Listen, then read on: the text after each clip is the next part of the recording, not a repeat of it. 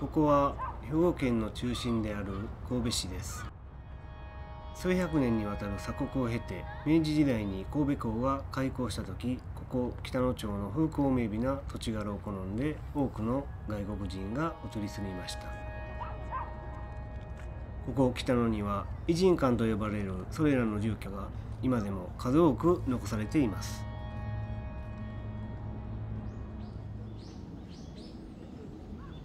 神戸で最も古い社殿が北野天満神社です。1180年の銭湯を象徴する都の守り神として京都の北野天満宮が誕生されました。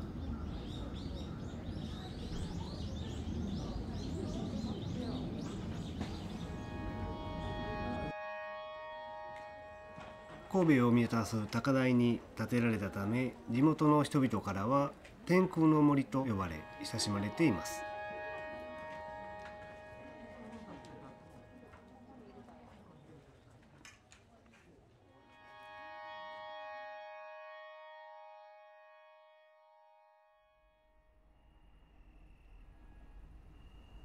日が暮れて神戸の町が夜の帳に覆われる頃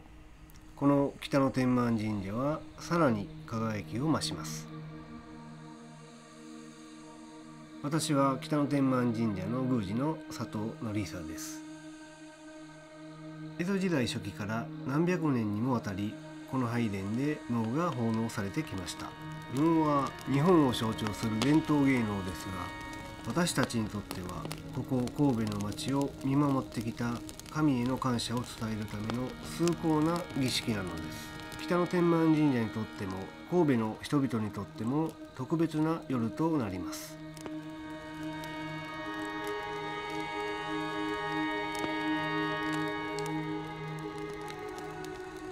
脳を鑑賞すること。それはすなわち先人との対話に他なりません。私の名前は上田義輝。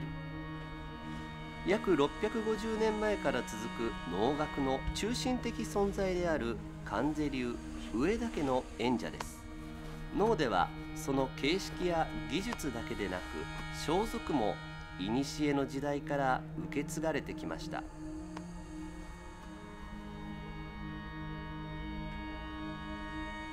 中でも仮面演劇である脳において表には独自の魂が宿っていると思います。演じる役柄に合わせて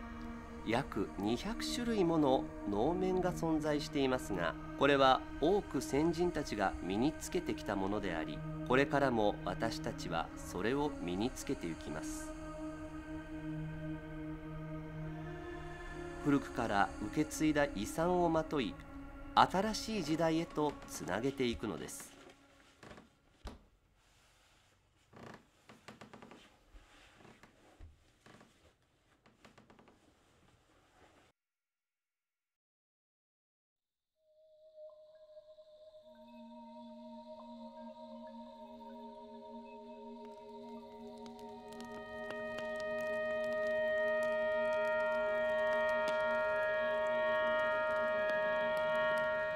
今回の演目は「エビラ」雅やかな若武者が自らの信念と愛する者を守り抜くために戦うお話です。約800年前まさにここ北野で実際に起きた出来事を題材として書かれた物語です。腰に刺された梅はこの北野天満神社に祀られる菅原道真公のシンボルでもあります。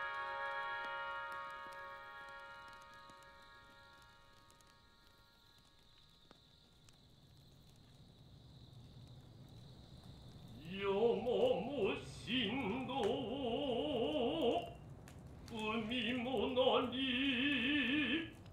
来かもみなれ悪婦の公園の旗をなびかし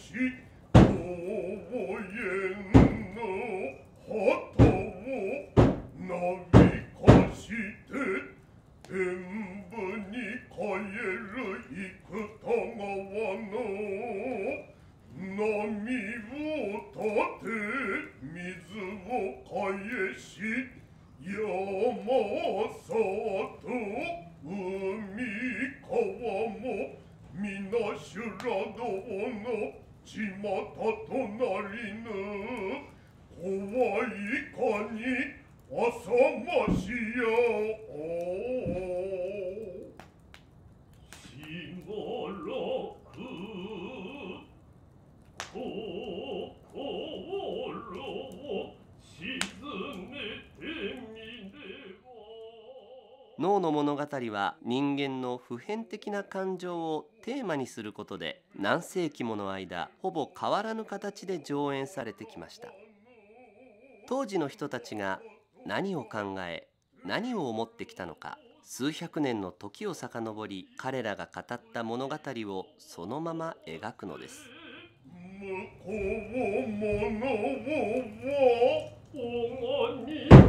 また巡りはえば車にに。雲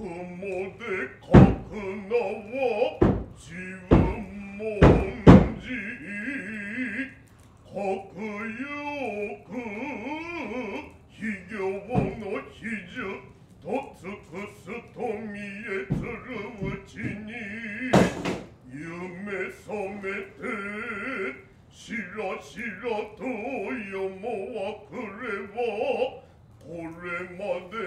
や人々よ糸ま申して花は根に鳥は古巣に帰る夢の鳥は古巣に帰るなりよくよくと言って旅とえ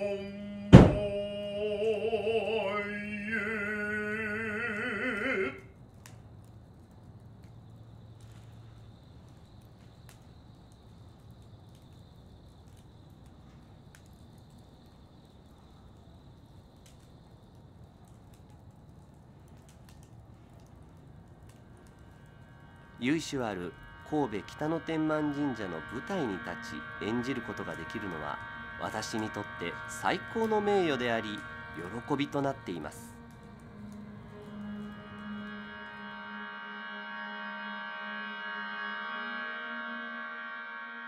本物の日本体験をここ兵庫で皆様お待ちしています。